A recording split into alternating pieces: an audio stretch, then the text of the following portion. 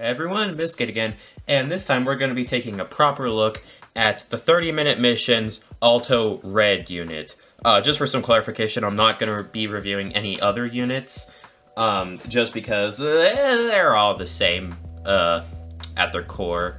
But that's besides the point. Sorry for such a long uh, uploading gap the Leo review kind of left a real bad taste in my mouth to kick me off the internet for about two months. But whatever, I'm back, and we're going to be taking a look at this guy here. So we'll start off with the aesthetics of this guy. So I'm not going to comment too much about the color of this guy because eh, you can kind of buy whichever color that really tickles your fancy, and it won't exactly matter because they're all the exact same.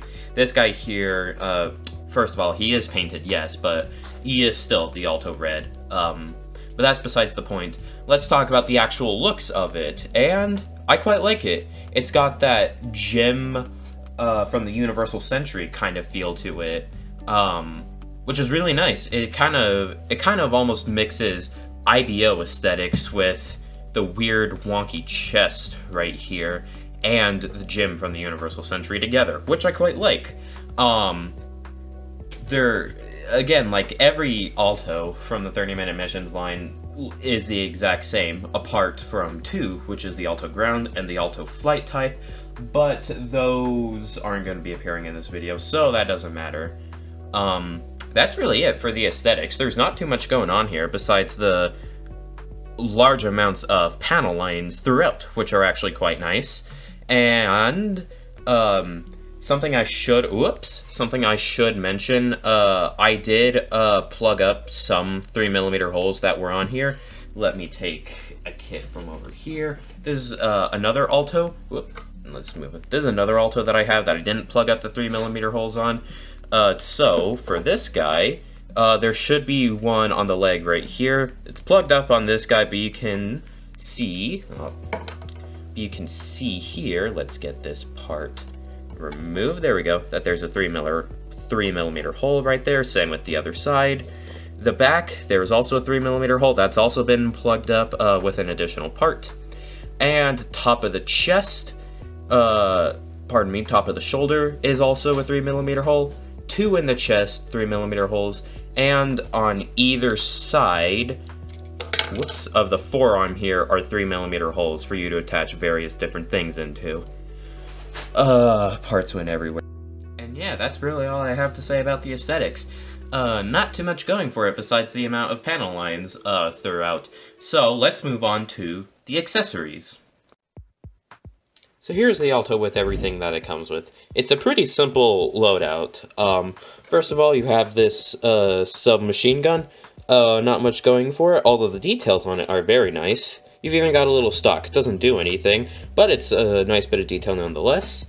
And this just plugs into the hand like so. There you go. It has no issue holding it on, and it works very nicely. Next accessory is this. Uh, these are what I can only describe as like a knuckle duster, brass knuckles, I don't know. Um, you just kind of put these in there, and there you go. It is a circular hole, so they don't. It, it doesn't exactly hold on the greatest, but it's better than the Portanova, which, trust me, will be a upcoming review sometime. I don't know. And last but not least, the Roy Roy. Uh, this is just a small little support drone that comes with the unit. Doesn't exactly do too much. However, there is some inbox customization. Ooh, okay, so, not too much the Roy Roy can do on its own, um, but some inbox customization is allowed, so you can tear off the head of this guy and pop on the Roy Roy's head. I don't know, looks kind of dumb. Uh, that's some inbox customization you can do with these guys, but um, I, I, I don't really like it. It's just kind of a little novelty you get with this thing. Moving on, accessories. Before we go on, I just wanted to give a quick mention to the stickers here. Uh, these do not come looking like this, I accidentally crumpled mine, but you do get these numbering ones in case you want to make yourself a bit of an army. So, on to the articulation. Alright, and as always, from the head down. So, for the head here, you have a bulge joint, very simple, can actually get you a lot of movement, and it's amplified by this hinge joint in here, that gives you some forward and back movement. Oops. Uh, quite a bit up and quite a bit down as well. Uh, the shoulders can swing forward and back on a joint in there. You might want to pull it out just a bit to get a little more. Uh, shoulders themselves can move independent, stuck on by a little clip. And the shoulders can go out, whoops, out and off. Can go up eh, about that far, which is pretty good. And you have a full swivel here, single joint bend, and a ball joint at the wrist. Now the waist itself uh, is kind of cool. You've got that for a crunch, which is really nice. Let's put that leg down there. Uh, can't really see the most of it. There we go. That's a real nice crunch and a, a decent back. It doesn't exactly go back too, too much. Um, you might need to pull out that little ball joint just a bit. Speaking of ball joints, that gives you a swivel and the joint up top gives you a little side to side as well. Now, the legs themselves uh, can go forward and back. You even have a little drop down joint which gets you leg movement all the way up and all the way back. Those legs can move everywhere. And uh, can pull, this guy, ugh, this guy can also pull off the full splits as well, splits and beyond, which is really nice. You have a full spin kick up here.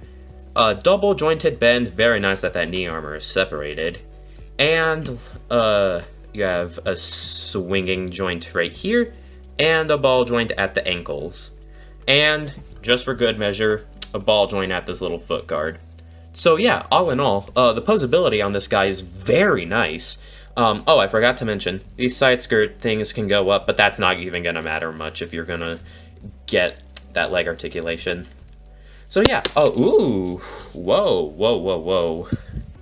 So yeah, all in all, articulation on this guy, very good. Um, it's very nice, and whatever pose, oh my god, whatever pose you want to get, you will get. It's a, it's a very nice little kit.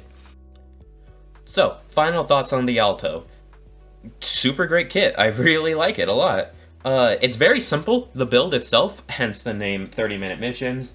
Uh, it's advertised as taking 30 minutes, but you'll spend a little less, especially since it's literally just sandwich, armor part, joint, armor part, joint.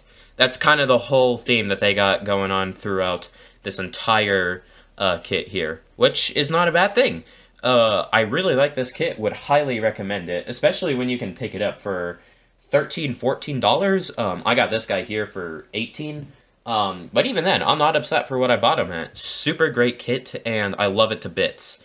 Uh, thank you guys so much for watching. Like, comment, subscribe, or whatever. Uh, stay tuned for next video. Um, yeah, that's about it. Bye.